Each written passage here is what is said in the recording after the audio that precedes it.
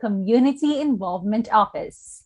That time was not just about the gifts that we gave, but it also became the opportunity for them to rekindle their moments inside the campus, to reunite with their friends, and be able to feel God's presence through your shared blessings.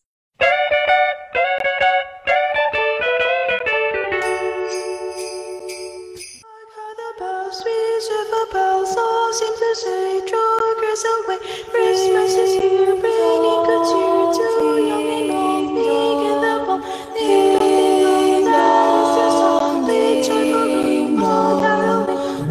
Seems to hear words of good cheer from everywhere, filling the air. Oh, how they pound, raising the sound, or hail it down, telling their day. They ring while people sing songs of good cheer. Christmas is here.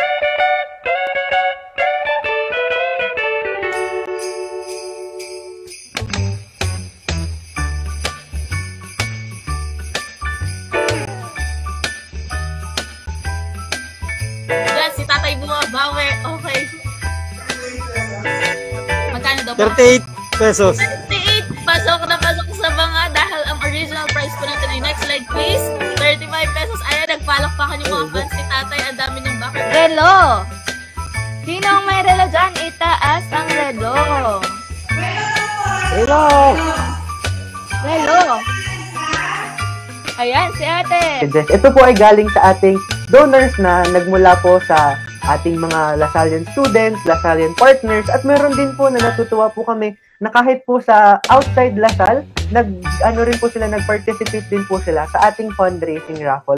You have given us food every day for many years. Now, it is our turn to give back to you. Thank you for the endless support you give us through your service. Your smiles and delicious dishes will always be our energy in doing our tasks even now. Keep going and stay safe always. Inaasahan po namin makabalik na kami sa school para makabalik na rin po kayo sa trabaho. Nakakamiss na rin pong kumain sa Shea at sa Student Center. Sama-sama po tayong babalik sa school. Maligayang Pasko po sa ating lahat at mag-ingat po kayo palagi.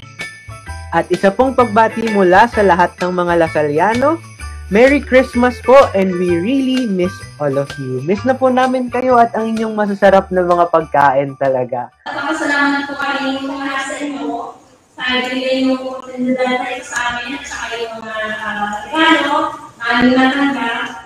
Um, nagpapasalamat po kami at umaasa din po kami na, na itong susunod na taon eh, mabigyan na rin tayo ng pagkakataon para magkita-kita magkita-kita tayo ulit at kayo.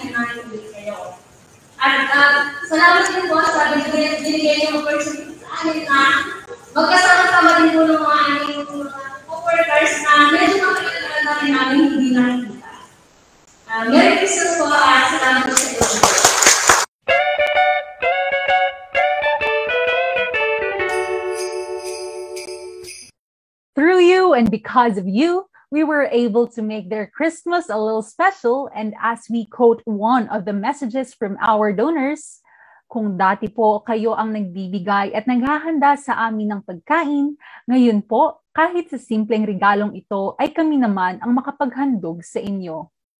We were able to give 21 Noche Buena packages, and 21 families were given an extra reason to celebrate their Christmas with smile on their faces. Thank you.